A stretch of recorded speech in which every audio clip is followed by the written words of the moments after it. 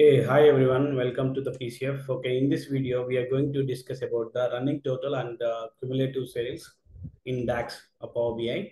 So actually, we have a cumulative sales for month to date sales and quarter to date sales and then year to date sales. Okay, we have a direct functions for MTD, YTD, and QTD. So that is the reason it's giving the for only month till month end it will do the cumulative sales and for MTD and QTD it will do till um, quarter uh, end it will do the cumulative sales. Again for the next quarter it again it will start a fresh cumulative sales and then do the cumulative. Cumulative sales means like uh, so if uh, some of the mm, so like basic people like so what is cumulative sales means? Suppose you have a today you have a 5000 rupees tomorrow again you have a uh, 2000 rupees. Okay what is the total for uh, today you have? So 5000 plus uh, 2000 7000 7000 again tomorrow you uh, you may have uh, know 3000 okay 7000 plus 3000 okay?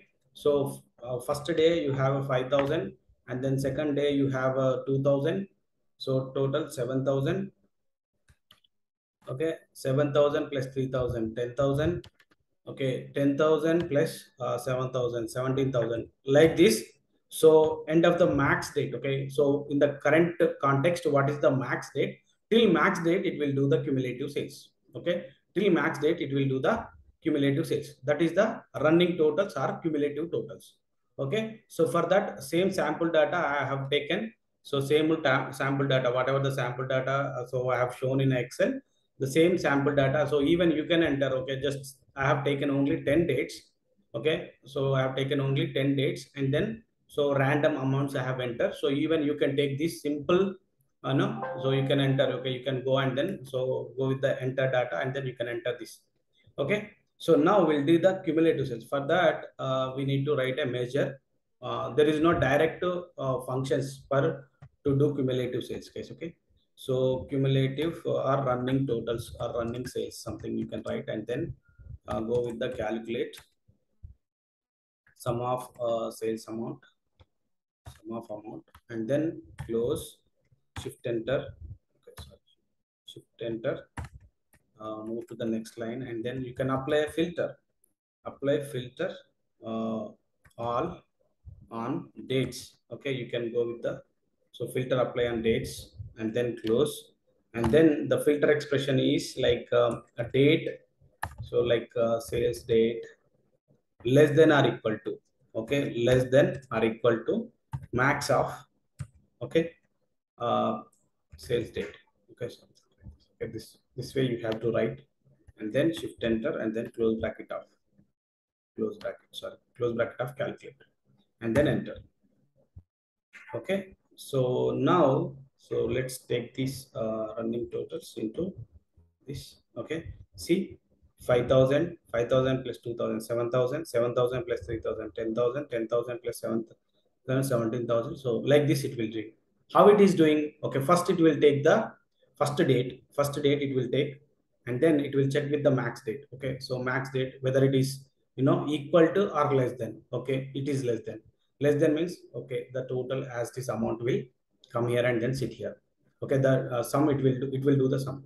And then again it will uh, check the first uh, the second uh, for that second also it will check with the max date. Okay so it's not uh, no um, less than. Okay each row wise it will go and then for uh, again also the second. So this two will be you know uh, summed. Okay this two will be summed. First date and then for the second for second date first uh, you will, will check the first date and then second date. Okay the two amounts will be summed. And then again uh, for third third date first date will check and then second date and then third date. Okay third date is less than or equal to okay so it will again so it will check the cumulatives for each day wise. So what is the amount is there and then this date again this less than or equal to again less than or equal to it will check again less than or equal to. So whenever the max date is meet till that date till that time it will do the cumulative sales. Okay? Till that time it will do the cumulative sales. Okay? If it is you have a multiple years so it will go um, do the cumulative sales for the if you have a two years and then three years like that so that many years it will do. Okay? Ytd means it's only till end uh, end of the year it will do the cumulative sales. And then again uh, for if you have one more year it will again start with the fresh year. But so this cumulative sales will not stop anywhere. So it will do the max wherever the max date. So till max date it will do the cumulative sales. Okay. Hope you like the video. Uh, please subscribe uh, my channel guys. Okay. If you watch the first time. And then um, to encourage me please uh, know hit the like button. And then share for more people's okay for this video this kind of videos guys okay. I'm going to create a video on daily daily basis. Daily i will give the tips or you know uh, uh, dax wise calculation related to the power bi and then msbi okay? So and sql server. So thank you so much guys. So hope you